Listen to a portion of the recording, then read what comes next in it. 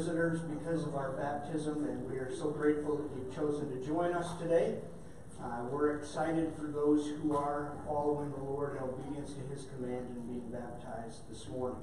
I want to read a couple of verses as we begin, and actually, with the baptism, these verses are significant, but they're more in line with the series of messages that we are doing.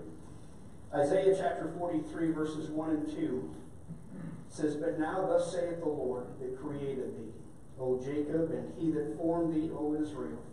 Fear not, for I have redeemed thee. I have called thee by thy name, thou art mine. When thou passest through the waters, I will be with thee, and through the rivers, they shall not overflow thee. When thou walkest through the fire, thou shalt not be burned, neither shall the flame kindle upon thee. So we're excited this morning to have four that are following the Lord in obedience to his command and are uh, going to be publicly professing their faith in Christ. Baptism is one of two ordinances given to the local church. The first is the Lord's table, uh, and the next is believer's baptism. Baptism does not change our standing before God. This is nothing to do with our salvation. This is an act of obedience after one has come to faith in Jesus Christ and they publicly want to display and profess their faith to those that are within the family. And so this morning we have four, and we're excited because next Sunday we have five. And so it is a great time in the ministry here at Golden Harvest, and we are truly thanking God for what He is doing. So we're going to begin this morning with Andrea Mennick. And if I could have the men that are going to be assisting, if they could come.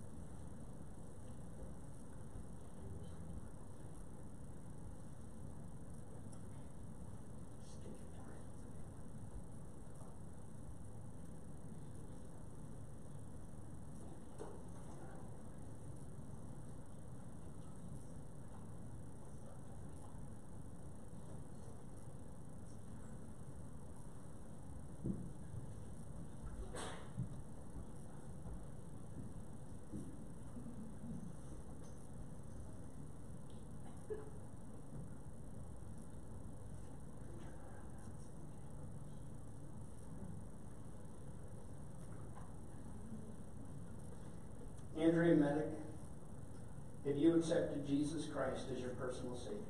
Yes, I have. That upon your profession of faith, my sister, I baptize you in the name of the Father, and of the Son, and of the Holy Spirit, buried in the likeness of his death, raised in the likeness of his resurrection.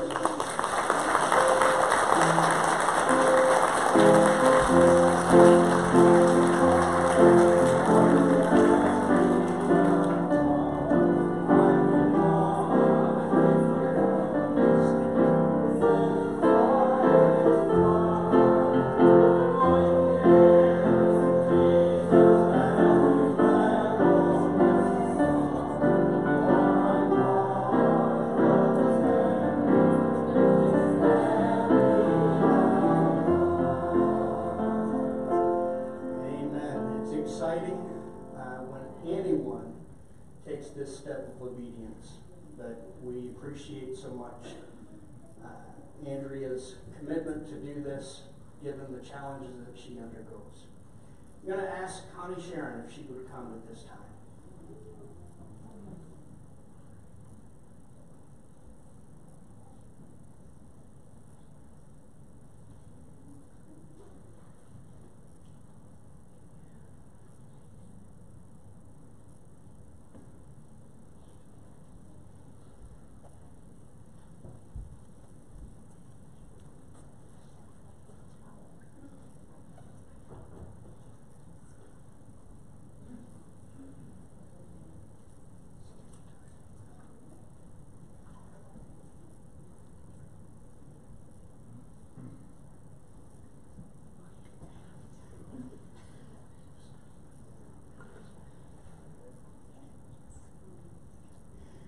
We've uh, we've had Sundays that we baptized when people have stepped into the tank and the first sound that comes out of their mouth is because it's so cold.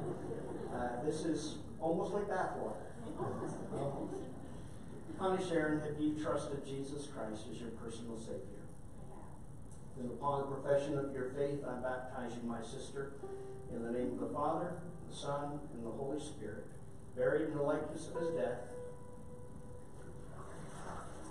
raised in the likeness of his resurrection.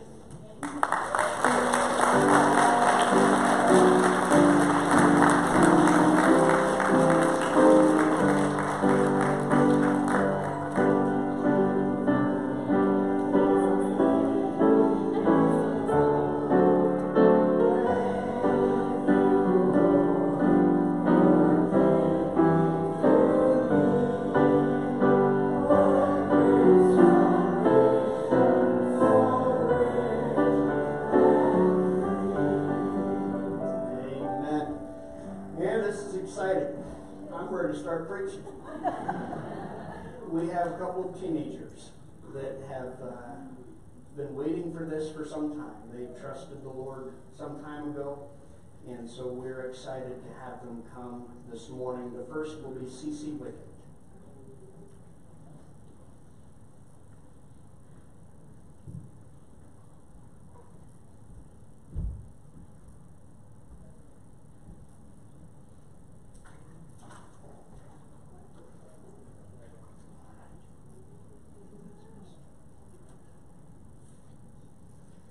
Cece, have you trusted Jesus Christ as your personal Savior? Then upon profession of your faith, I baptize you, my sister, in the name of the Father, the Son, and the Holy Spirit, buried in the likeness of his death, raised in the likeness of his resurrection.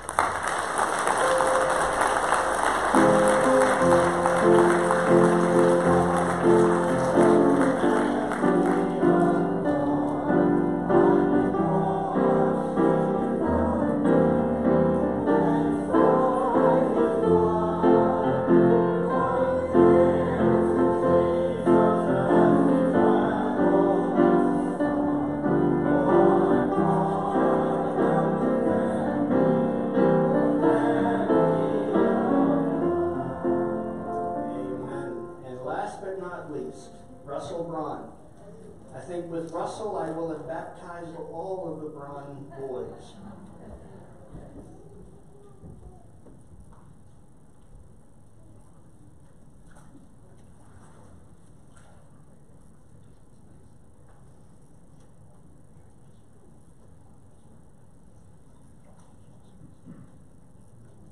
Okay. Russell, have you trusted Jesus Christ as your personal Savior? Uh, and upon profession of your faith, I baptize you in the name of the Father, the Son, and the Holy Spirit, buried in the likeness of his death, raised in the likeness of his resurrection.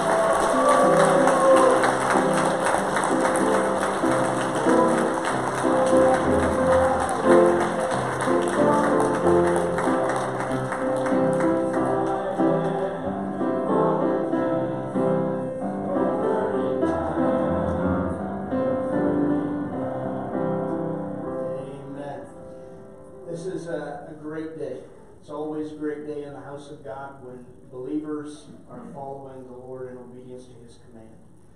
As I said before, these are simply waters, and baptism is simply an outward expression of an inward reality. It is a public profession that they have trusted Jesus Christ as their personal Savior, and that is their intention and their desire to live for Him and honor Him throughout their life. If you're here today and you have trusted Jesus Christ as your personal Savior, but you have never been through the waters of believer's baptism, here is water. What doth hinder thee to be baptized? Danny.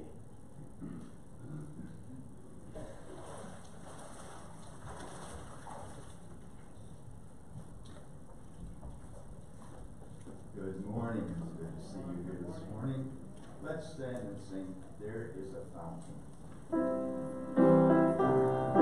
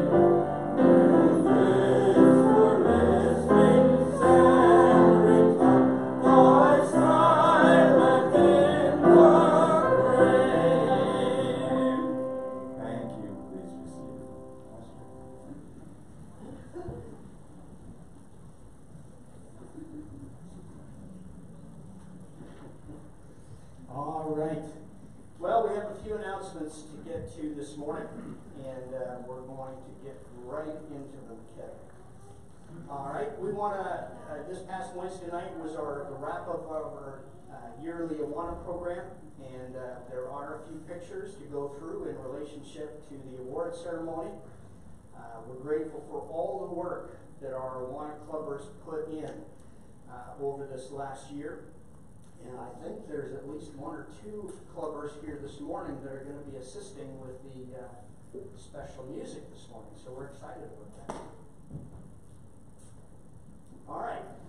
Because Awana has ended, some of our young families, in order for them to come on Wednesday nights to our Bible study, are in need of some help with childcare. Uh, so if you can help us out, uh, we've had the sign up sheet in the hallway for uh, a couple of Sundays now and there are a total of carry the one zero people that have signed up. Uh, so if you can help us on a Wednesday night, uh, what we're basically asking for is just for the hour that the uh, Bible study is on, if you can read stories, play some games with the kids, just keep them from running on the road, that would be appreciated. All right? So please sign up uh, on the way out today. Uh, we are having baptismal service again next Sunday, and we're excited about that. Uh, and uh, there are, the, I think most of the ones that are being baptized next Sunday are here this morning. So we're looking forward to uh, getting them in the tank, and they've been able to see this morning how painless it is to be baptized. And so uh, join us next Sunday at 11 o'clock. Uh, roof repair day, it was scheduled for the 13th. Uh, I met with the deacons, a few of the deacons just before the service, and they have asked if we can bump that to May 27th because we don't want to interfere at all with Mother's Day, uh, and the 13th is a Mother's Day weekend. So if you're able to help, now let me let me put it another way. Uh, we have two men under the age of 60 that have offered to help. The rest are over 60. So, young men, it's time to step up. Your church needs you. So, if you can talk to Earl or Dean after the service and let them know that you plan on being here, that would be most appreciated. We're going to seal the roof on that day and uh, stop any further leaks so that we can get all the work done that needs to be done in the uh, kitchen. All right? Next Steps class is going to begin next Sunday. If you are here and you're fairly new and you've never been through the Next Steps class and you're kind of curious what Golden Harvest is all about, let me encourage you to come at 10 o'clock and take in the Next Steps class. Uh, we talk about who we are as a church, what we believe, where we're headed, and how you can fit into the big picture, and uh, areas of service you might be able to be involved in. And we would love for you to take part in that. You don't have to join after taking it, but if you plan on joining, you have to go through the next steps class. So we would ask you to join us next Sunday at 10 o'clock, and we'll be down into the Sunday school wing. Spring cleanup is May 27th. So, ladies, I'm depending on you to get your husbands signed up and coming to help with the roof repair. All right? Uh, if, if I can depend on anybody, it's the wives that are going to push their husbands to do the job. All right, so I'm asking you to get your man here that day, okay? Uh, just let us know if you're planning on coming. We have a whole list of things that need to be done, just getting the building ready for the spring, and the new pastor as he comes in July. All right? Uh, at the annual business meeting, we approved the purchase of a generator and the generator is installed and it's functioning properly, uh, and we're excited about that. But if you feel led to assist in either the purchase of the generator or the kitchen renovations, uh, then please mark your gift accordingly. All right.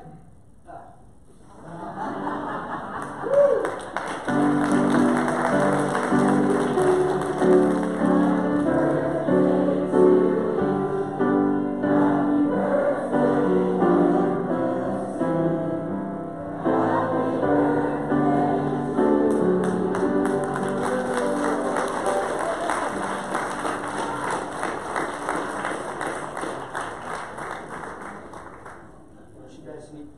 goes around.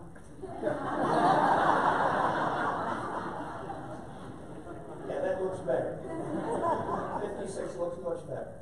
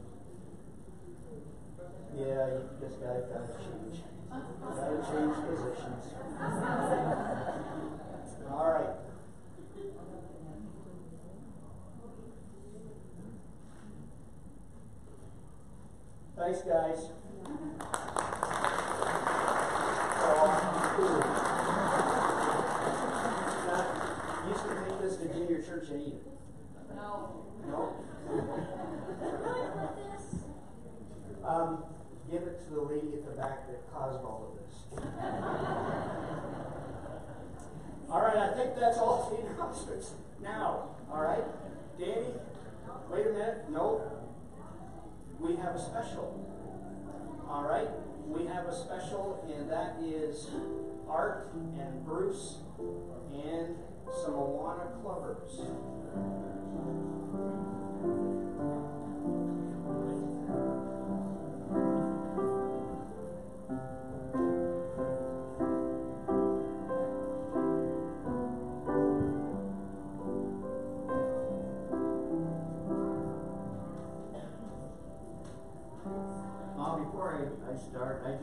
Say, uh, thank you for your thoughts, prayers, uh, words of encouragement, uh, through our time of mourning. Uh, my dad passed away last week, and though, there were not many words I could pray, only Lord help me through this time. And I just think there are prayers that break the back of words, you know, and I, and I just, uh, thank you for all that.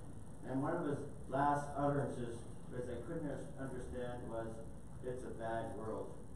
And you know what? It's a bad world out there for kids in school. And I'm just thinking, uh, we need prayer, you know, we need prayer for these young people coming up. These are Daniels that are gonna be in the future, and they're, they're have a hard time for these, uh, next few days. And, and this song, uh, really, you won't recognize, there's not a title to this. And Cindy asked me, uh, what's the name of the song? And I said, there is no name of the song, sorry. and there's just words, so they're able to find the words to this song. But it was a Lester Roloff song. He died in 1982, so you know how long ago that was. And uh, I think we need a few kids up here to help us because we need help bad. So we have uh, the Awana kids coming up, Zoe and Art and I aren't the honeybees, you know, that we're, we're not honeybees, we need you up here.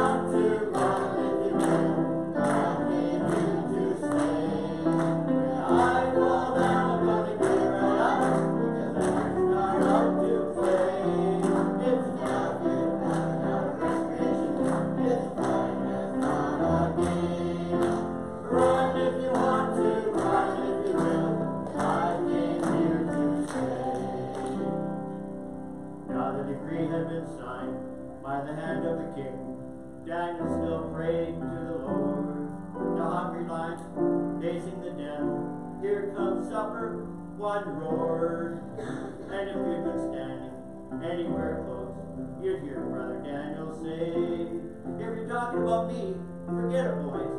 I came here.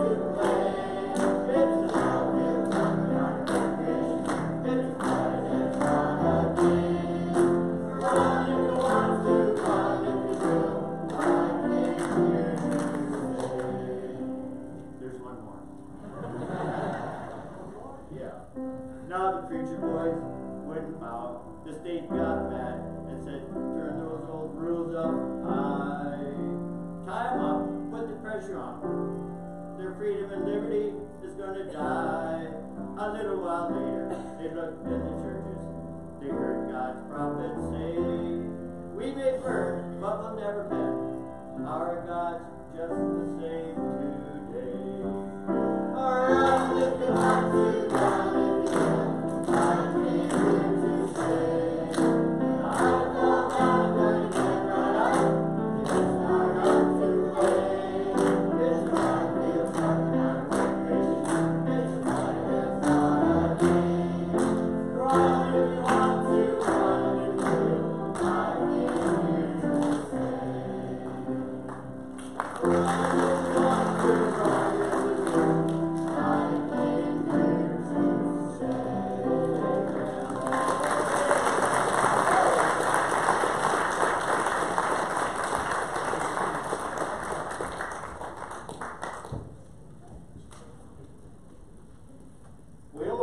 to the special music, and uh, sometimes it's not real special, but this one certainly was. Amen.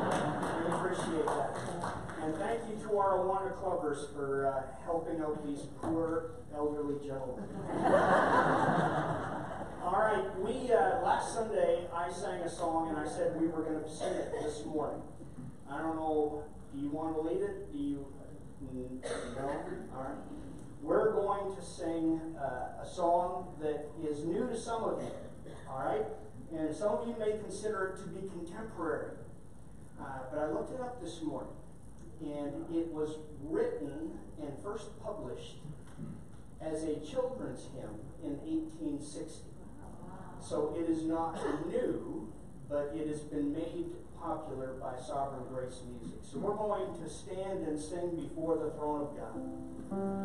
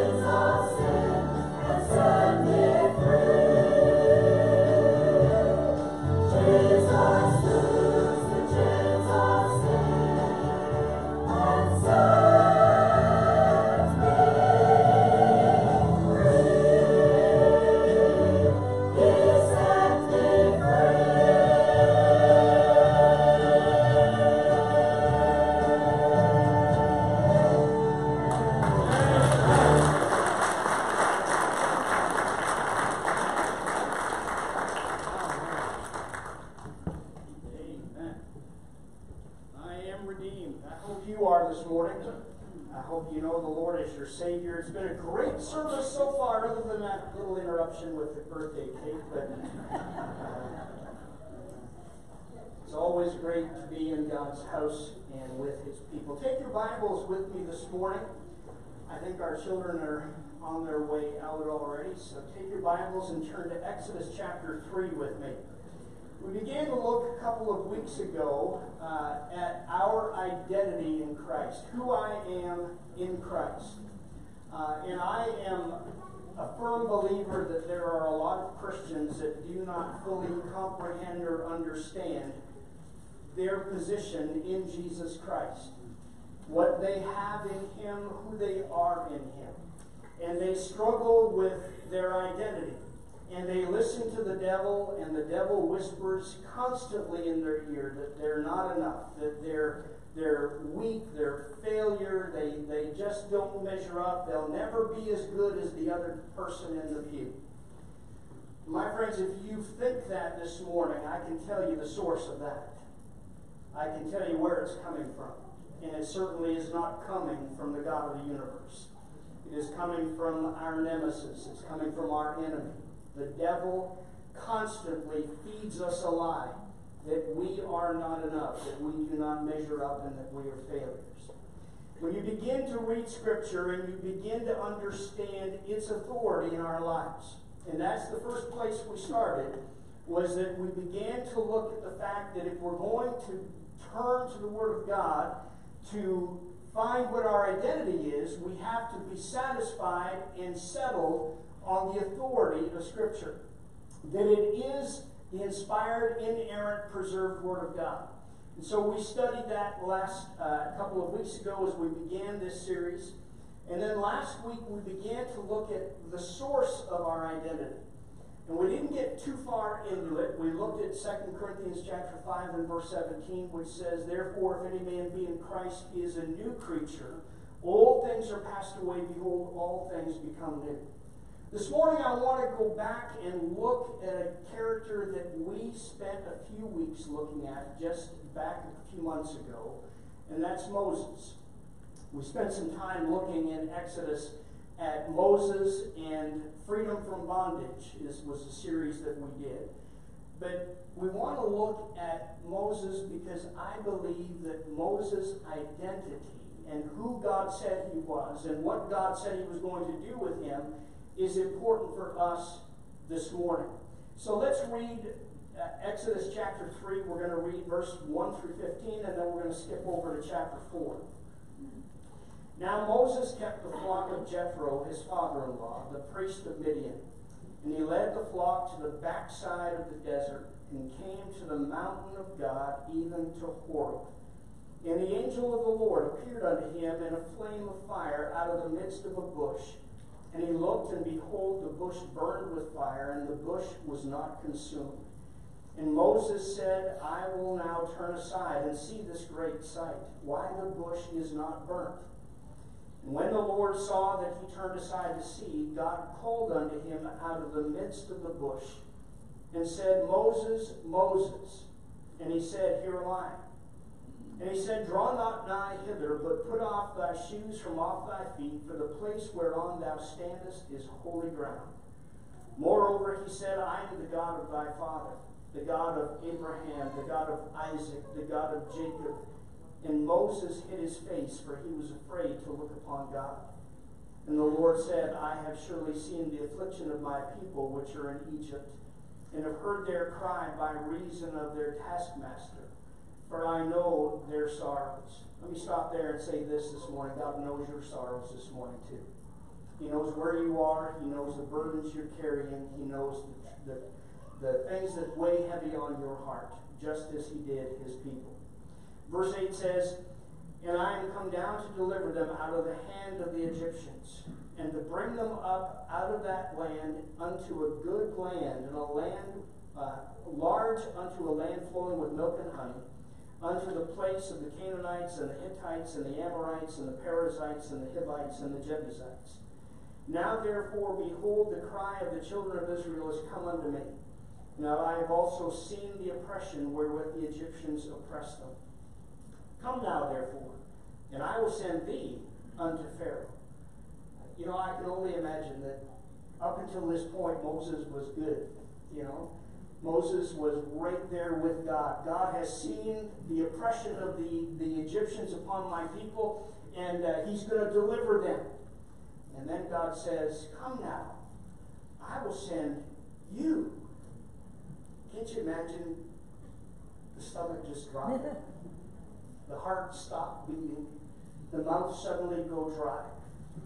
He was going to send the least likely candidate.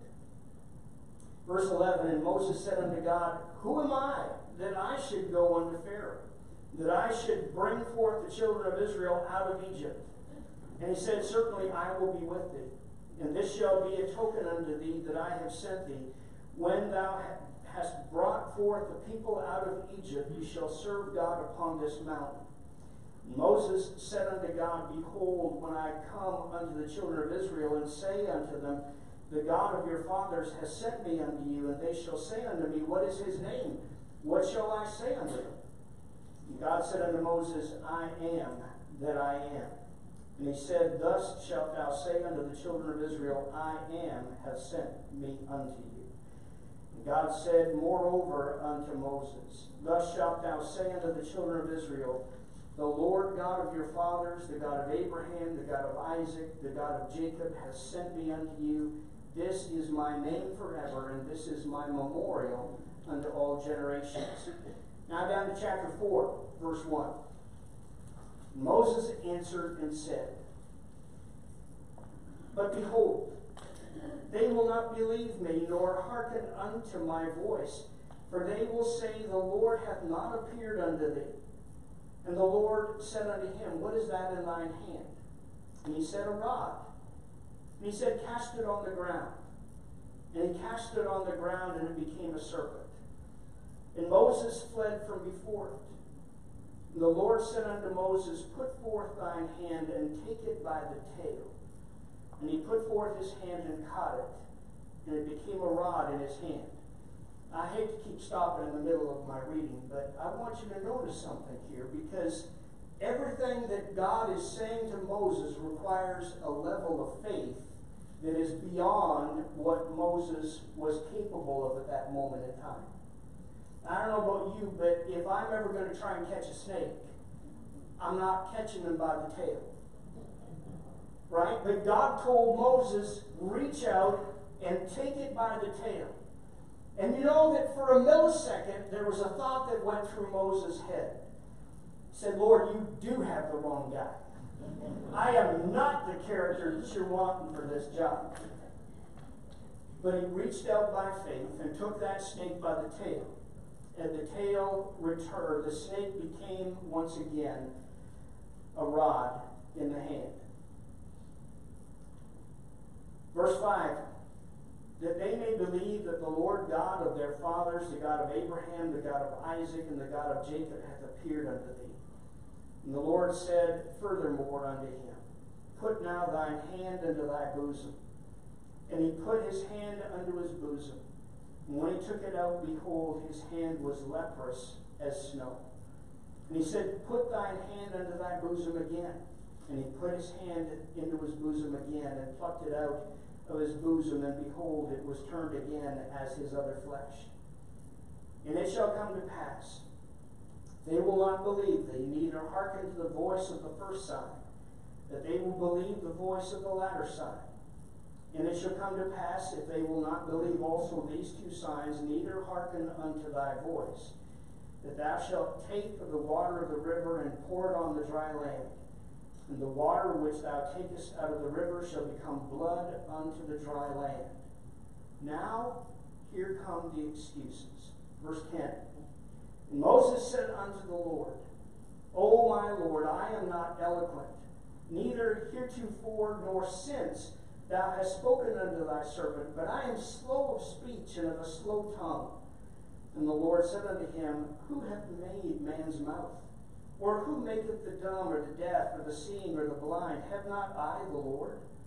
Now therefore go, and I will be with thy mouth, and teach thee what thou shalt say. And he said, O my Lord, send, I pray thee, by the hand of him whom thou wilt send, And the anger, of the Lord was kindled against Moses. And he said, Is not Aaron the Levite thy brother? I know that he can speak well. And also, behold, he cometh forth to meet thee, and when he seeth thee, he will be glad in his heart. Let's pray. Father, we thank you for this morning. We thank you for these moments as we come to the Word of God. Father, I pray that you may truly help us to comprehend this morning the source of our identity. That it is not found by our last name, it's not found by the job that we work, it's not found by the neighborhood in which we live or the community. That, Father, as born again children of God, our identity is found in Jesus Christ alone. And Father, I pray that we may be able to see that very clearly this morning through the Word of God. For it's in Jesus' name we pray. Amen. From an earthly perspective, Moses was really a bit of a castaway. He was 80 years old. Some would consider him a migrant worker who had settled into a routine for the remainder of his life. His earthly track record appeared somewhat cowardly, convoluted, and checkered. His thoughts about himself were not necessarily positive. His feelings and desires persuaded him that he was insufficient and incapable. Now, that may sound familiar to you this morning because that may be exactly how you feel about yourself. I'm insufficient. I'm not enough in and of myself. I'm incapable of doing anything significant for God. So we've read this passage. And we've seen Moses' response to God's call. We've seen his feelings and his desires. That they had persuaded him that he was not able to do this. But let me ask you this morning who really had an accurate view of Moses? Was it Moses himself? Or was it the creator of Moses? Was it God that had the clearest view, the best understanding of who Moses was? What are you trusting in this morning? as the most reliable source to help you understand your life, yourself, your family, your circumstances?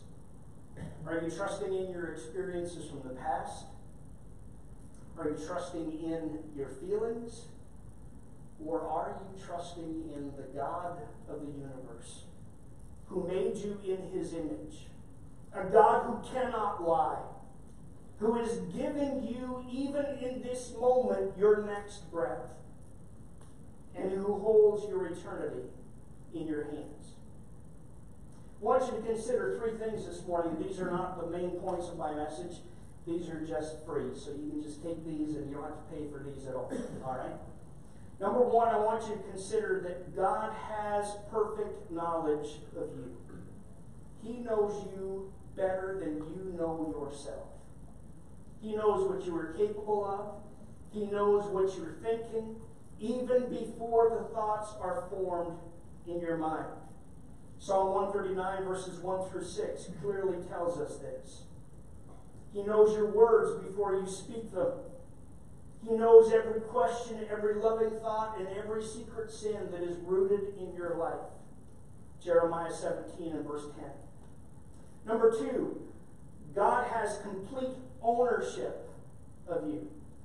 He has perfect knowledge of you. And he has perfect and complete ownership of you. Now, I think this is reasonably significant in a generation that claims my body, my rights, my choice. God reminds us that these conclusions are based upon a complete and utter lie. This is not my body. This is God's body. God has redeemed me. God has purchased me. He has created me. He has formed me the way that I am, and I am completely His. He has complete ownership of each and every one of us. And thirdly, I want you to consider the fact that God has ultimate authority over you. Psalm 103, verse 19, Ephesians chapter 1 and verse 12, 22, and Matthew 28 and verse 18. Two of the most significant questions that Moses was trying to answer, and which you and I need to clearly answer, are these Who is God, and who am I?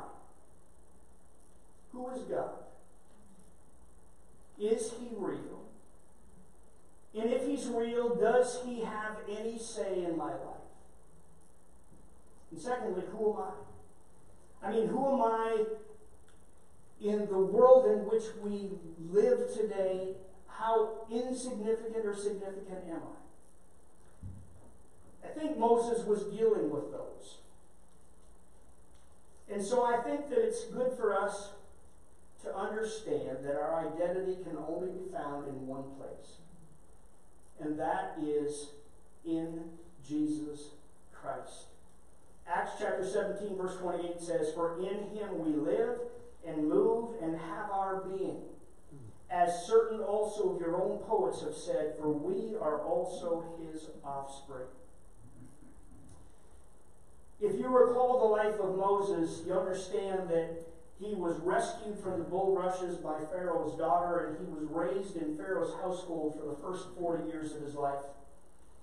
And uh, there was an incident that Moses involved himself in when he saw some of his own people, the Jews, being mistreated by an Egyptian taskmaster. And so Moses intervened, and in the course of intervening, he killed this Egyptian taskmaster. He hid the body in the sand. The next day, he saw a couple of Israelites fighting with each other. And he tried to intervene to keep peace. And one of them said, What are you going to do? Are You going to kill me like you killed the Egyptian? At that moment in time, Moses knew that his secret was out. And so he didn't run home to pack his shaving kit. He just made a beeline and got out of Egypt as fast as he could. The next 40 years of Moses' life, he lives with his father in law. Now, some of you men might be saying, oh boy. Moses lived with his father in law Jethro, and he kept the sheep. He was a shepherd. And I'm sure that by the time he got to the end of that 40 years, that second 40 years, so he's approaching 80, he's thinking to himself, life has passed me by. I am done. This is as good as it's going to get. I am the only place God is going to use me because I am unusable. Can you not imagine that in your mind? I mean, I've killed an Egyptian. I've broken one of God's laws. I am living under my father in law's roof. I don't even have a home of my own, and my identity is wrapped up in a bunch of stinky sheep. And I'm 80. Now I'm turning 65 this week, and I'm thinking life has passed me by. Now I know that for most of you that are in here that are young, that seems like forever, but don't blink because you'll be there. And some of you reached 65 just a couple of weeks ago, and some of you've been there for a few months, a few years. Moses is approaching 80, and he has got to be thinking, there's nothing else going to happen in my life. There's nothing going to change. My circumstances are what they are. He had learned in Egypt the skills of worldly leadership, how to be a leader of men. But in God's school of the desert, he'd been taught some qualities of spiritual leadership.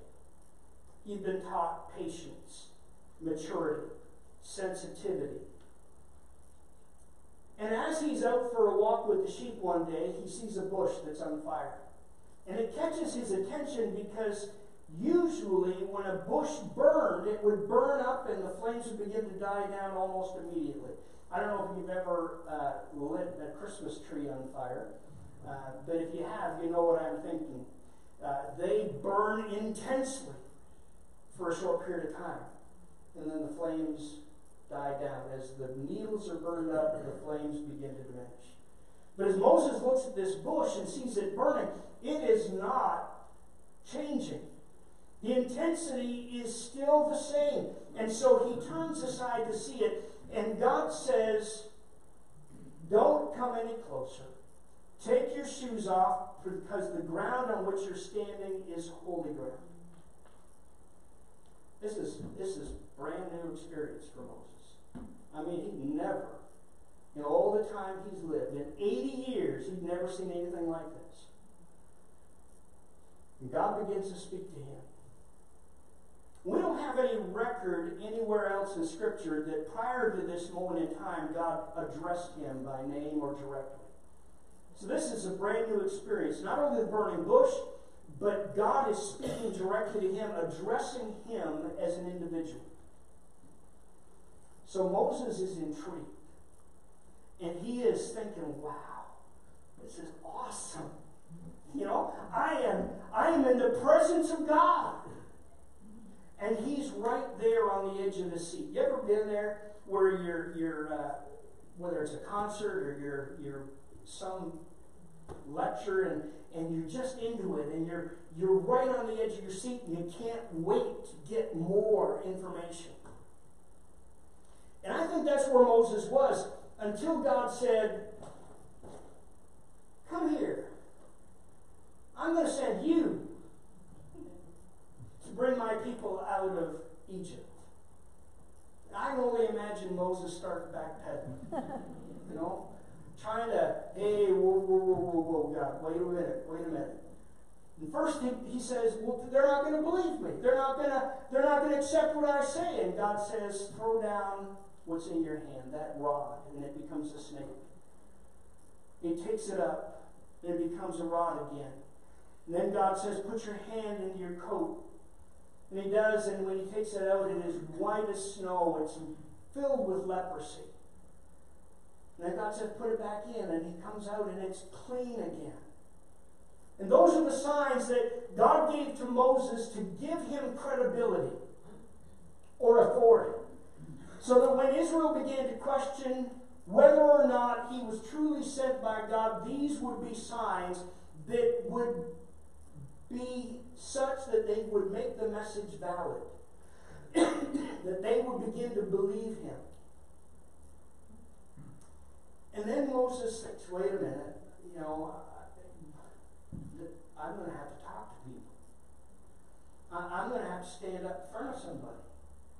I'm going to have to I'm going to have to address not only crowds, but I'm going to have to address Pharaoh. You ever met anybody famous? I mean, like really famous?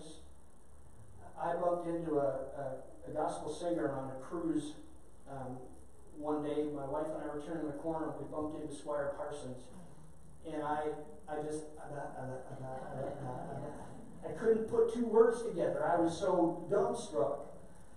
I'm dumbstruck most of the time, but anyway, that's a side issue. Moses is going to have to stand in front of the most powerful man in the world and address him. So God, God's made some sort of mistake here. Obviously, He has. Because I can't talk to people. I, I, I'm not built for public address. Let that somebody else, Aaron, get Aaron. He'll do it. And God says, "Who made your tongue? Who made your mouth? Who gifted you? God did. My friends, the reality of how the devil tries to make us feel and the lies that he begins to feed us and try to tell us are such that we totally throw out the window anything that God may have to say. You may believe this morning, I cannot serve God. I can't do anything for Him. I'm, I'm totally incapable. I'm not able to stand in front of people. I couldn't teach a Sunday school class. I can't put three words together. And God says, Who made your mouth? Who gave you the ability to speak? I think this morning there are four things I want to give you. And if you're looking at the clock at all, you may say, You're just getting to the points now. I'm going to give them to you real quick. Number one, God often shows up in unexpected ways. Verse 1 clearly shows that. He showed up in the midst of a burning bush. Verse 1 of chapter 3. Moses was on the backside of the desert. He was probably in a position where he believed that he couldn't get any further away from Egypt and he couldn't get any further away from God than on the backside of the desert, on the side of Mount Horeb, and, uh, and, and with a bunch of smelly sheep. But in the midst of all of that, God showed up. Folks, I'm, I'm praying that God shows up in your life. Mm-hmm. I'm praying that God shows up and makes himself known in your life in such a powerful way that it will not be mistaken for anything other than a moving of God. Amen. God shows up in an unexpected way. Number two, God often shows up when we're engaged in the ordinary things of life. Moses was just busy living his life. He was busy doing the stuff he always did. I, I can only imagine if I spent my days with a bunch of sheep, I probably would have them named. And I probably would know each one, and I'd, I'd you know, sit with them and Cuddle them. talk to them and Cuddle no, I wouldn't cuddle. I would be aware that Moses is there and God shows up. But all Moses is doing is the normal things of life. The third thing I think is important is in verses 3 through 4, and that is that God's call is a call to turn aside and listen to Him. It's a call to turn aside and listen to what He says. Not what the devil's telling you this morning. Not what he's trying to convince you of. Not that you are imperfect and incapable and that you're a failure and that you're weak and you can't do anything. You need to listen to God. And that's why we started with the authority of Scripture, because that is where we find our identity. It is through what the Bible says that we find who we are in Jesus Christ. So God's call is a call to turn aside and listen to Him. And my friends, I believe this morning for each and every one of us as children of God, if you're here today and you know Jesus Christ, you have a relationship with Him, and you love Him and you want to serve Him, I believe that God's call on your life today is to just listen to Him. Amen. Listen to what He says. And then, fourthly, God delights in using ordinary things and ordinary people to accomplish extraordinary events. Did you get that? Let me get it to you again. God delights in using ordinary things and ordinary people to accomplish extraordinary events. Chapter 3, verses 7 through 10. So don't sit here this morning and say, Preacher, I can't, I can't do anything in the ministry of the church. I can't help. I can't teach a Sunday school class. I can't help with junior church. I can't do a Wednesday night kids program. Who created you? Who called you? What does God say about you? Are you accepting it or are you listening to the devil? What did the burning bush experience do for Moses? I think it solidified God's call. It made clear to him that God wanted to move him from his comfortable existence into a work for which he was destined.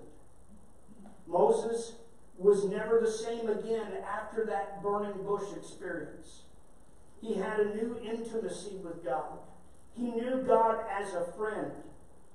The experience provided him with the new motivation. His past failures were forgotten. No longer was Moses defined as a murderer. Now he was defined as a friend of God. Now think about it. When God says, I am the God of your father, Abraham, Isaac, Jacob. I mean, those were the superstars of the faith at that time. That'd be like God saying to you, hey, listen, I want you to serve me in this capacity. I am the God of Billy Graham. And I am the God of D.L. Moody. And I am the God of Billy Sunday. And I am the God of Charles Stanley. And I'm the God of David Jeremiah. And you would say to yourself, Who am I in the midst of those superstars? God delights in using ordinary Amen, amen, amen, that's right, brother. To do extraordinary things. Amen. And the same can be true for us. God's job description for you will not be the same as it was for Moses, but it will be just as real and just as challenging. God looks not for ability, He looks for availability. And when we look at Moses, we see someone that we have trouble relating to because of all that God did through him. For us, Moses is one of the superstars of the faith. I mean, he's he look at what he did. I mean, there's nobody like Moses. The Jews even today revere Moses. You're not Moses, you're you. And God, I believe, wants to do something through you, with you, and in you. He took a snot nosed kid that got saved at the age of 15 and called him to preach. God can use anybody. Amen. He can use a donkey to speak. He can use you. Amen. My friends, we're the ones that limit ourselves in the service that we can provide to God and His ministries. Because we choose to listen to the wrong source. But your source of your identity is not found in what the devil says about you. It's found in what God says about you this morning. And you can listen to the right source. Amen? Amen. Not listen to the fake news. Right? Which is what the devil tries to feed us. Father, we thank you for this morning. We thank you, Father, for your love for us, for how you have done so much. And we are, as the choir sang this morning, if we are children of God, if we have placed our faith in the finished work of Jesus Christ, we are redeemed. We are a new people, a royal priesthood. We are joint heirs with Jesus Christ. God, help us not to limit ourselves, but to believe what you say, to accept what you say, and to obey what you say. For it's in Jesus' name we pray. Amen. Danny, would you come?